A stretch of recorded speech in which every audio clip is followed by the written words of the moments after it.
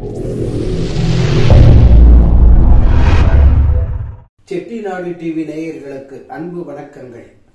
நாயன்மார்கள் வரிசையில் இன்று நாம் தரிசிக்க போவது மூர்த்தி நாயனார். எல்லாருக்குமே நல்ல எண்ணங்கள். தயவு செய்து யாரையும் திட்டாதீங்க சுவாமி வேண்டாம். இந்த உலகத்துல கெட்டவர்களுங்கிறது கிடையாது. ஒருத்தர் கூட கெட்டவர்கள் கிடையாது. அந்தந்த நேர சுற்றுப்புற சூழ்நிலைகள் அந்த தேவைகள் ஆசைகள் எல்லாம் சொல்றோம் இல்லையா? அது தோன்றது அது அது அவ்வளவுதான். அது நான் மேல ஒன்றும் சொல்ல வேண்டாம் உங்களுக்கு. ம்? ஆனால் நாம் நல்லது செய்வது அப்படின்னு தீர்மானம் வைத்துக் கொண்டு அதுல உறுதியா இருந்தோம்னாக்க தெய்வம் மடித்தற்றுத்தான் முந்திரம். வள்ளுவர்ல சொல்றாரு அது. பர பரசுராமனா சொல்லணும் உங்களுக்கு. வள்ளுவர் வாக்கு. அப் வள்ளுவர் வாக்கு. அப்படி இருந்தாக்க தெய்வம் தானே நமக்காக அது வேட்டியை மடிச்சு கட்டிட்டு வந்து அது வேலை செய்யுமா? இதை திருநாவுக்கரசரிடம் அப்பர் சுவாமிகள் அவரும் சொல்றார் குறிக்கோள் இல்லாது கெட்டேன். கெட்டு போறது காரணமே அந்த குறிக்கோள் என்பது ஒன்று இல்லாமையின் காரணமாகத்தான். இன்னைக்கு எல்லார்கிட்டையும் எல்லாருக்கும் இருந்தாலும் எல்லாரும் ஏதோ ஒரு குழப்பத்துல இருக்கும். காரணம் என்ன? என்ன எதை தேடுறோங்கிறது. அதுவே தெரியாம தேடிக்கொண்டிருக்கின்றோம் அல்லவா? ஆனால் அங்கு நாயன்மார்கள் வரலாறுல அவ்வளவு பேர்களும் அடுத்தவர்களுக்கு நல்லது செய்வதன் மூலமாக அங்கே கண்ணுதலருடைய கருணையை முழுமையாக அடைய வேண்டும் அப்படிங்கிறது. இன்னைக்கு இவ்வளவு பிடிக்கப்பட்ட காரணம் மூர்த்தி நாயனார் வரலாறு அப்படிப்பட்டது. பாண்டியரோட வழக்கப்படி நம்ம மதுரை தான்.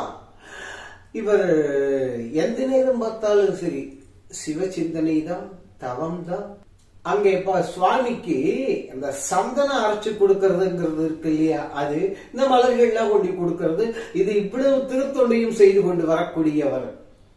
இந்த நேரத்துலதான் கர்நாடக மன்னன் கர்நாடக தேசம்னு சொல்றோம் இல்லையா? அந்த கர்நாடக மன்னன் இங்க வந்து இந்த பாண்டிய ராஜ்யத்தை பிடிச்சாச்சு பிடிச்சாச்சு. அந்த கர்நாடக மன்னன் வந்த உடனே என்னென்ன இடங்கள் உண்டோ அவ்வளவு இடங்களையும் பண்ணினார். அவ்வளவும் பண்ணினார். உம் சிவ பூஜைக்கு என்னென்ன உண்டோ இடங்கள் பண்ணி மலர்கள் கிடைக்கிறது இல்லை அது கிடைக்கிறது இல்லை இது கிடைக்கிறது இல்லை ஆனால் மூர்த்தி நாயினார் சற்று கூட கலங்கவில்லை. அவ்வளவு சமாளிச்சு இவர் அந்த பூஜைக்கு என்ன உண்டோ அவ்வளவும் செய்து கொண்டிருக்கின்றார். அவன் என்ன பண்ணினா இவர் சந்தன அரைச்சு சந்தன கப்பதெல்லாம் பண்றாங்க இல்லையா? அந்த சந்தன கட்டைகளே கிடைக்காத அளவுக்கு அங்கே தடை. இடையூறு அந்த அளவுக்கு.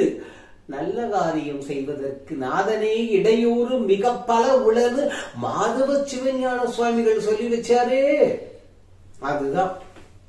ஆனா மூர்த்தி நாயனார் கொஞ்சம் கூட கவலைப்படல. சந்தன கட்டை இல்ல. சந்தன கட்டை இல்ல இல்ல. சந்தன இல்லாட்டி என்ன? இந்த கட்டையில வாச்சு இந்த கட்டை இருக்க. அப்படின்னு சந்தனம் தேய்க்கக்கூடிய அந்த கல் இருக்கு இல்லையா? அந்த கல் அதுல இந்த கைய வச்சு இப்படியே தேய்ச்சி அரைக்கிறார். நினைச்சு பார்த்தாலே கொஞ்சம் ஒரு மாதிரி தான் இருக்கு. முதல்ல மேல் தோல் போச்சு அடுத்தது உள்ள இருக்கக்கூடிய அந்த வழ வழன்னு இருக்கக்கூடிய அந்த சதை போச்சு அதுக்கப்புறம் எலும்பு அதுக்கப்புறம் உள்ளார இருக்கக்கூடிய அதான் அந்த மூளை முதற்கொண்டு ஆனா இங்கேயும் உள்ளதுக்கு மூளைன்னு பேர் முடியும் எல்லாம் முதற்கொண்டு அப்படி எல்லாம் வெளியில வருது. அப்ப கூட இவர் நிறுத்தல. இறைவன் அசிரீதியாக தடுத்தான். அப்பா நிறுத்து இதை. இவ்வளவு இடையூறும் செய்யக்கூடிய இந்த கர்நாடக மன்னன் நாளை இறந்து இன்று இரவு இறந்து போய் விடுவான். நாளை நீயே இந்த ராஜ்யத்தை கை கொண்டு அரசனாக இரு நல்ல விதமாக நீயே பரிபாலனம் செய்துவா அப்படின்னு சுவாமி அசரீரிய சொன்னார்.